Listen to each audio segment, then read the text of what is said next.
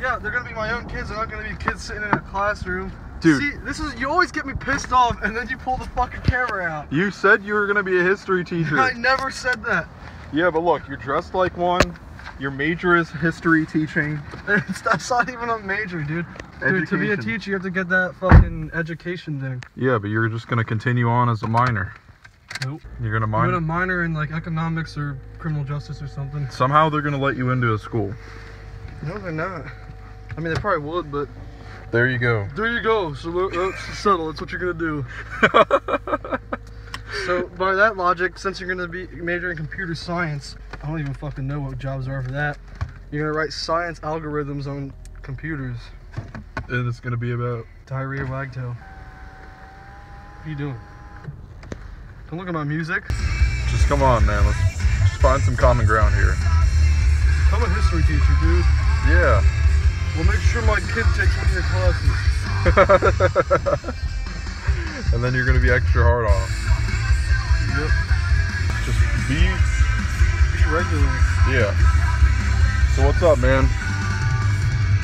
So, I don't know. This music is just a little bit. some jingle bells for you. Oh, you freak or. Oh no. Now you can call somebody a faggot, and it's just. There's this like yeah whatever like I call people faggots all the time. But Are you sure? say well not strangers I don't like. But I thought people are more sensitive now. I don't know. Maybe like strangers, you're a faggot. That's basically gonna be your car for the rest of your life. You're gonna get out of the car at the school and they're like, "Hey, Mr. Michael." Mr. Michael, I say, look here, fucker, it's Mr. Stop Just say it again. You're like a fucking paparazzi Say- fucking piece Say it shit. again. No. Darwinism? Yo, come on, No. please. No. oh my god. Uh, someone's battery probably died. Can you help him out? Here we go. All right. Well, you wait. So when are you gonna hit him up though? When are you gonna hit him up is the real question. You said you were going to the other day. I was kidding. Well, dude, no. Look, two things. Hit him up. Set up the app. Wait. What's wrong with the picture? It looks good. Very grainy truck picture. What's wrong with it? I don't know. I don't know why you. You can't even tell what truck it is, can you? I can tell it's a Dodge. I'm not, it's not that that. Actually, it's a Ram. What? faggot. I say no. All right. Well, I guess just pick me up then. We'll see. Just uh, first things first. I gotta do this before any of that happens. So the longer we sit here, the longer later it's gonna be. How long do you think? I don't fucking know, dude. Stop being a fucking faggot. All right. You're gonna be ready. All right. Let me know. All right. Use or the cars. What? Hit up the use or the cars. All right. All right. See ya.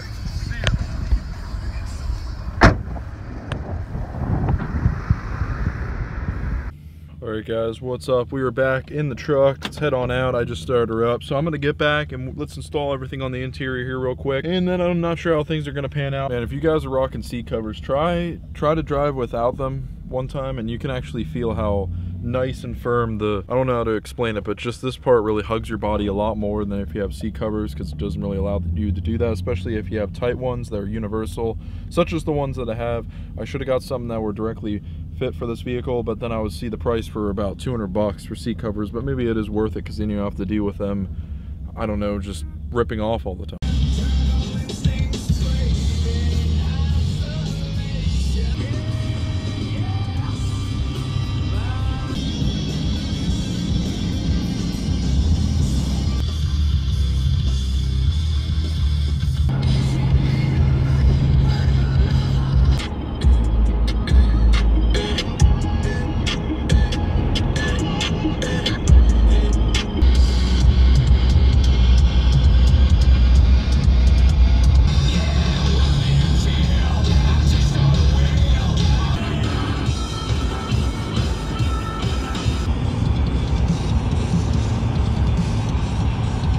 All right, guys, a couple hours later here, I'm in the driveway. Got the truck right here. Perfect. That sound like a cool muscle car. So over here, we got the floor mats in the truck. We got those put back. This one pallet there, and then we got that. Clean that one up. Clean this one up. That one's there now. And what I'm gonna do is put these freshly washed seat covers back onto the seats because, well, I don't know. It was it was nice to drive for one day, but I do want that added protection from dirt and debris or whatever just gets on these seats. So let's do it. Here we go. Let's just get this on up here.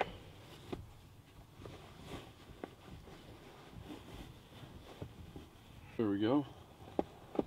Well, I tell you what, this would be a lot easier if I could open the other door so I wouldn't have to reach over. All right, guys, we finally got it taken care of, and man, it took forever. The sun is is basically almost set because of how long I spent on this, but realistically, it's amazing now. And check how firm and tight that is. The, here's the problem that I would always have, even on my side sometimes, I'd slip out the side because as you can see, there's a lot of, there's a big step here, more than a foot because of the lift kit and the bigger tires, yada, yada, yada. But check it out. People would step out and then the, the seat would just slide off. It's it's even happened where it just slides out onto the ground and get dirt all over it. It's even happened to me on that side, not as much though because I get I just get out a certain way it just doesn't happen but it's kind of kind of sucks I hate when that happens it would always slide off and I have to fix it especially now that I have to get off on this side I'd always have to fix one of these because I'm getting off on this side and it's is that there would be little I don't know if you could see it but there's little things such as this right here. I don't know if you could see that but there's two of them on each side and they align with two of them here. So what I did is I ran string on the back of the seat all the way back and around and I tightened it very tightly. So here it is. Here's one tightened right there. And this is just from this is just from the top part. That I never have a problem. I never have a problem with this going anywhere near the headrest so I don't really worry about those but yeah we got it taken care of and it's great. I mean, back here it's a little loose, but there's nothing I can do. No one really sits back there, like I said, so it's perfect, man. Took a while, and I'm just amazed by it. So there was a rattling in the interior of this truck that I kept having to deal with. Highway speeds, a lot of vibration with these tires that the tread is getting even lower now.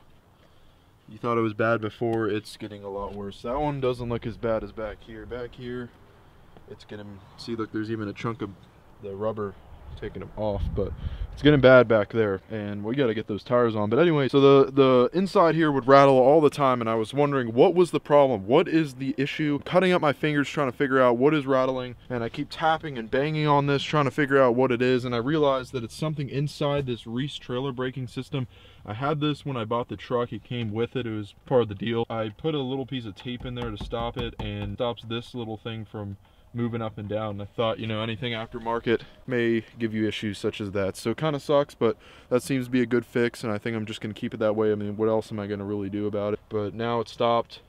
Finally, I'm going to have a nice quiet cab. I just want to play music softly. I don't have to listen to some rattling. So there we go. We got the seat covers washed and back on perfectly. They're not going to slide off. Everything is vacuumed and clean in here now. Just check out how perfect that is.